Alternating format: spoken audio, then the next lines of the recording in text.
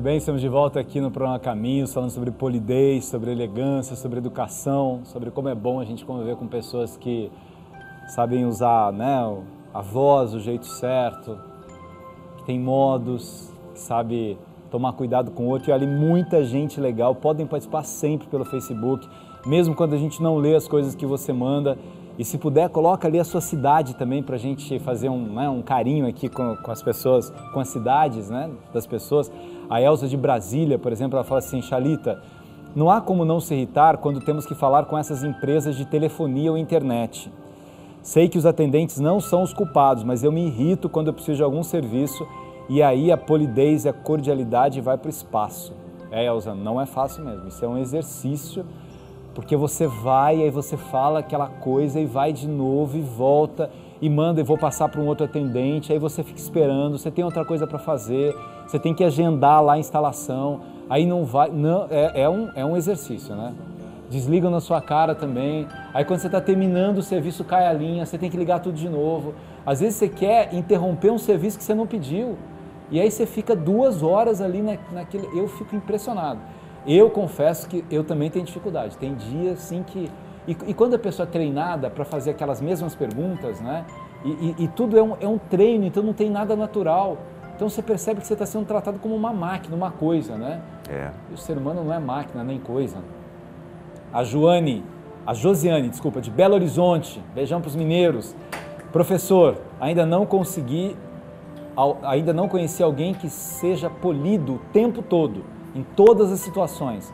Nos falta sempre a paciência necessária para que a gente se para que a gente consiga se manter bem educado. Josiane, você tem razão, né? É, é um exercício, porque tem dia que você se pega e fala assim, nossa, eu podia ter sido um pouco mais elegante, né? Por que, que eu tratei assim? Mas também olha o tipo de pergunta que a outra pessoa vai fazer para mim de novo, que não, não é fácil. Você tá, às vezes uma pessoa vai no hospital, por exemplo, e aí a pessoa com uma dor e o outro começa a querer preencher uma ficha enorme e o outro vomitando com dor. Eu falo assim, meu Deus, por que, que não atende a pessoa primeiro e depois preenche a ficha? O outro desmaiando ali, morrendo de dor. E aí vai, não, não, peraí, primeiro procedimento, aí vai. A sua dor de 0 a 10, quanto é? 300. A sua ânsia de Eu já passei por isso. 300, né? A sua ânsia de vômito de 0 a 10, você vomitando, né? E aí vai mensurar isso. Então, às vezes também é, é o tipo de é, serviço que é oferecido, né? De, que também está ligado ao respeito com o outro, né? Dá um beijão aqui pro pessoal de Barretos. Paulo de Barreto diz assim, Chalita, Acho que eu sou mais ou menos como a maioria. Eu sou educado até que me contrariem. Quando me contrariam, não sei se é assim que a gente deveria ser. Nós precisamos manter a polidez, eu sei disso, até mesmo nos momentos de conflito, mas não é assim que eu ajo. Quero pegar essa, essa coisa do Paulo aqui, é, isso que ele falou, para trazer para a gente, porque às vezes a gente fica apontando para o outro e fala assim: nossa, Fulano não é polido, Cicrano não é educado, é, Beltrano não é gentil e eu sou perfeito. Ninguém é perfeito. Ninguém é perfeito. Então, como a gente não é perfeito, a gente não tem que ficar é, achando que o outro tem que ser perfeito. Eu tenho que compreender essa imperfeição do outro. Mas eu tenho que olhar para mim mesmo e perceber as minhas limitações e o que, que eu faço diante das minhas limitações para ser uma pessoa melhor. Esses dias um casal de amigos, né? A, a minha amiga, né? Deu um berro com a filha para ela parar de pedir uma coisa, estava fazendo uma birra tal. E a menina levou um susto com o berro da mãe e ficou quietinha. Aí eu fiquei quieto, né? Não é minha filha, né? também não tem que me meter na vida do outro o tempo todo. Mas eu acho que ela ficou constrangida, né? Falou, ah, Chalita, você é educador, mas você viu como funciona? Você berra, ela fica quieta. Eu falei, você acha que funciona? Eu falei, não, pelo funcionou. Eu falei, e você sempre que você quiser que a sua filha te obedeça, você vai berrar com ela? Porque talvez funcione, mas talvez se você pegar uma arma e mandar alguém fazer o que você está pedindo ali na, na, empresa que você trabalha, se é o diretor da empresa, você pega um revólver e manda o cara fazer aquilo, ele faz. Você fala, tá vendo como funciona? Funciona. Mas você quer pegar uma arma toda vez que você quer que alguém que você lidera é preciso fazer alguma coisa que você considera que é correto?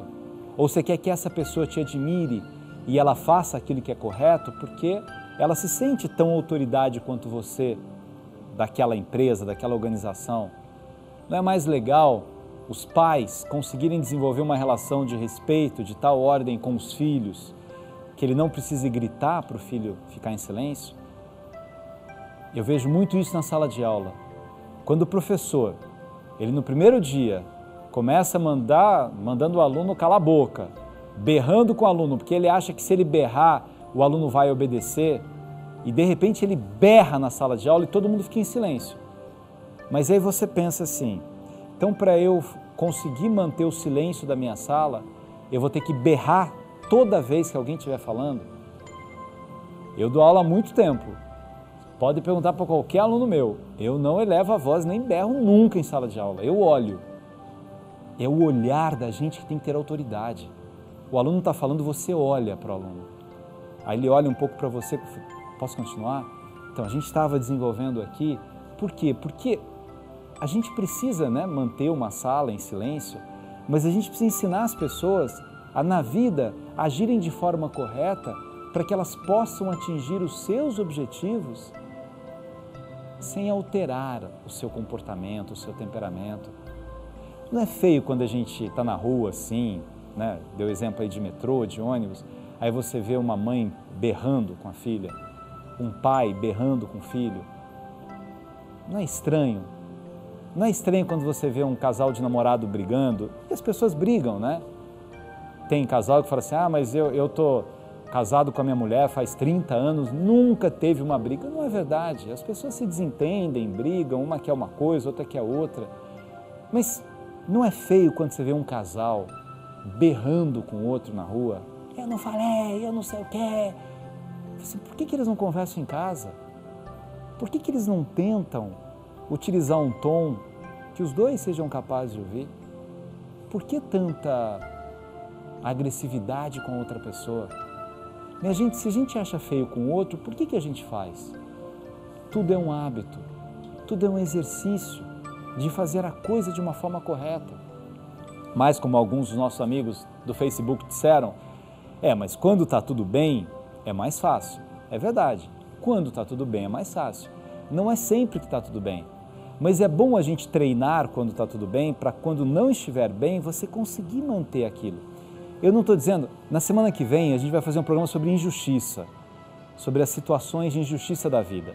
Eu não estou dizendo que você não possa processar uma outra pessoa, que você não possa reclamar, que não é isso, mas é o jeito de fazer as coisas. E não é só por causa do outro, é por causa da gente mesmo.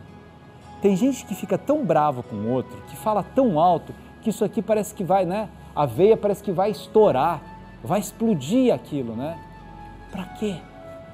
Para que desperdiçar a vida perdendo a sua temperança, o seu equilíbrio interno, o seu eixo, sabendo que aquilo não vai resolver?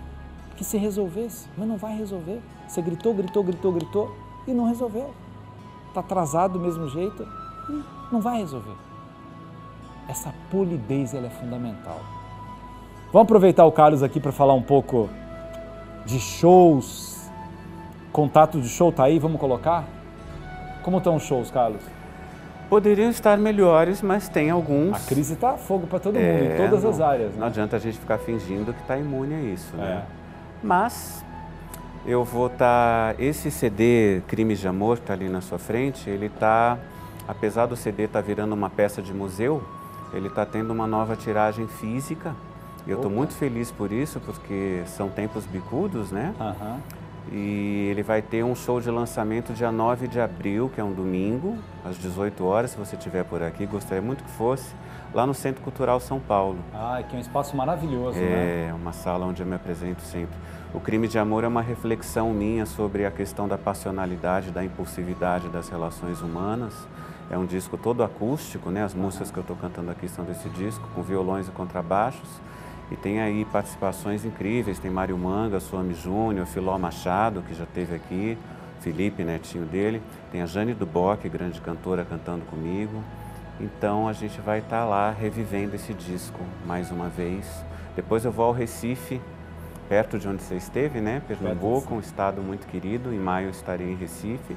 Mas as pessoas acessam o site, o carlosnavas.com.br e dão uma Tem olhada lá, lá, nos discos, nos shows, nos contatos. Dá para comprar o CD pelo Dá para comprar os, os, meus 10 CDs, o DVD, e também tem Facebook, fanpage. Hoje em dia a gente se relaciona com o público é. de uma forma muito direta. Eu acho né? que esse é o lado muito legal da, da internet também, né? Porque, muito legal. É, se você não tivesse uma grande produtora ou se não caísse na graça por alguma razão de, de, de mídia e tal, você ficava meio esquecido.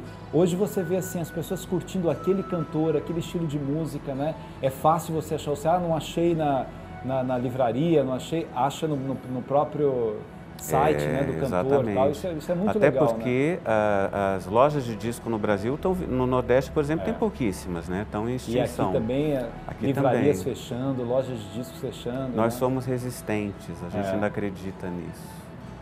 Que bom, né? Que é. bom que tem alguns resistentes. É. Deixa eu mandar uns beijos aqui também, agradecer a participação de muita gente que partilha suas ideias. Beijão para Adélia. Gabriel, cada um tem a Adélia que merece. Tá dizendo Adélia. Então, respeite para ser respeitado. Se me respeitar, eu respeito. Devemos tratar bem as pessoas, mas há quem precise ouvir umas verdades. E quando falamos, dizem que somos mal educados. Eu acho, Adélia, que a gente tem que falar essas verdades, né? Mas é só achar o momento certo, a forma certa de falar. Às vezes você está brigando com alguém, falando com esse alguém, você fala tão alto que tem 50 pessoas ouvindo aquilo que não precisaria ouvir. E eu sinto que a palavra no tom certo, ela tem mais poder. Às vezes é melhor você educar pelo constrangimento do que pela gritaria. Eu não acredito que ninguém seja educado na gritaria. Né? Ninguém berrando vai educar uma outra pessoa. A Judite, professor, até tento agir com polidez, mas às vezes eu acabo perdendo a paciência. Mandar um beijão para Valdenice, ela tenta tratar bem todas as pessoas e não discriminar ninguém. Para Euricice, e ela diz que também às vezes não consegue digerir falta de educação. Então ela acaba é, revidando para as pessoas aquilo que as pessoas fazem com ela. Você chegando quase no final do programa, eu, eu acho, eu fico assim, muito feliz quando eu encontro pessoas que acompanham o programa e falam assim, sabe, Chalita, eu acabei pensando um pouco melhor naquilo e eu mudei um pouco a minha maneira é, de tratar as pessoas ou de fazer isso, aquilo. Depois do bate-papo no seu programa, da reflexão que você colocou. E eu queria que a gente né, é, fosse dormir hoje, nessa quinta-feira, pensando um pouco nisso. O que, que eu posso fazer para ser mais polido? A gente tem uma mania muito ruim de sempre achar que o outro que precisa melhorar. Meu marido precisava ouvir isso para que ele seja um pouco mais gentil com as pessoas. Meu filho precisaria ouvir, mas e você? Não, não tem o que melhorar? Acho que todo mundo tem um pouquinho para melhorar na vida. E, e refletir nestas melhoras nos mostram que a gente está se construindo, se reconstruindo, se ressignificando em qualquer idade. É tão bom a gente né, terminar um dia e falar assim: nossa, aprendi uma coisa nova hoje. Aprendi que não é gritando que eu vou chegar a lugar nenhum. Aprendi que, mesmo que o outro não me cumprimente, não é isso que vai fazer com que eu deixe de cumprimentar as outras pessoas. Aprendi que, mesmo né, é, quando o outro não tem carinho ou respeito por mim, eu vou continuar tendo. Porque eu acredito no ser humano. Eu acredito que nós somos animais sociais, eu acredito que nós somos filhos de Deus. Nós estamos na quaresma, daqui a pouco a gente chega na Páscoa. É um momento legal para a gente refletir sobre o que nós fazemos que faz o mundo melhor ou que faz o mundo pior. Muito obrigado pela sua, pelo seu carinho. Ame aí a pessoa que está do seu lado. Quando a gente trata bem as pessoas, a gente dorme melhor, dorme um sono mais gostoso. E vamos terminar ouvindo Carlos, que vai. Dia, dia, que dia de abril? Dia 9 de abril. 9 de abril. Domingo, 18 horas. Domingo, 18 É aberto? As pessoas se inscrevem no Não, Centro é Cultural? um preço, acho que são 25 reais o, o ingresso e 12,50 meia, mas é preço popular, né? Então quem é de São Paulo, fica Centro ao lado Cultural, do metrô, isso, ali, Rua Vergueiro Mil, bem fácil. Uma música gostosa. E foi um prazer revê-lo, tá? Parabéns obrigado. pela sua Volte brilhante gestão na Secretaria Municipal obrigado, de Educação. Cara. Opa. Parabéns. Te muito obrigado. Muito.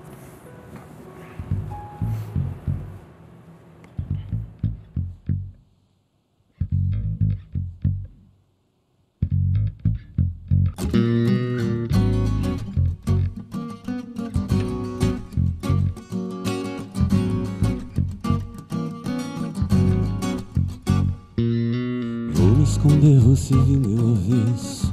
Hoje teço teias pra bem longe das paredes que te cercam. Por mais que o acaso me leve a teus braços, hoje sigo outros passos.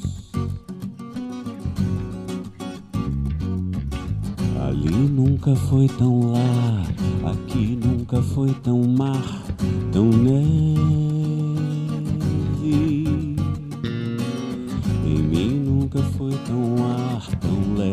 Vento leva tudo em breve.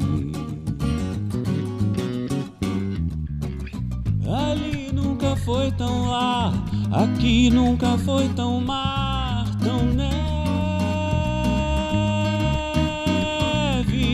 Em mim nunca foi tão ar, tão leve, vento leva tudo em breve.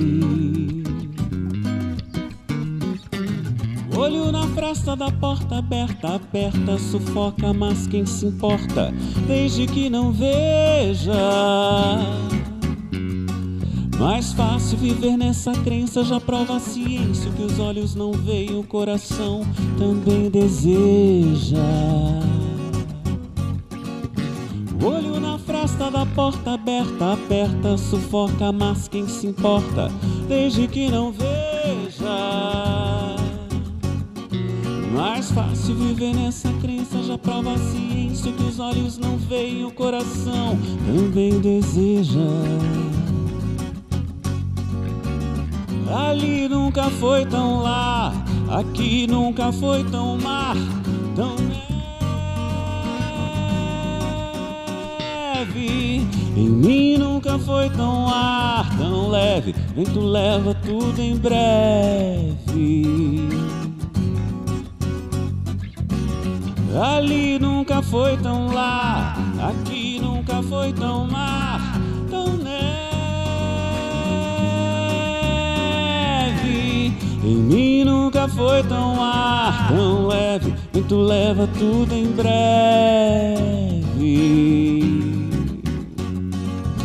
Esse vai ser nosso trato. Os pedaços de mim quebrados hão de ser restaurados por ti. Eu hei de tirar tuas luvas, te banhar de uvas e beber teu vinho, sozinho.